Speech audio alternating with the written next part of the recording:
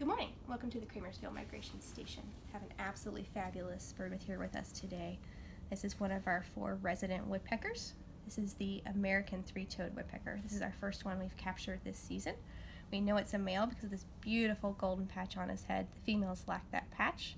And this bird gets its name from his toes. Three-toed woodpecker. Check it out. He actually has three toes. Our other woodpeckers, the downy, hairy, and flicker, will have four toes instead. Pretty sweet bird here we have today. Thanks for tuning in.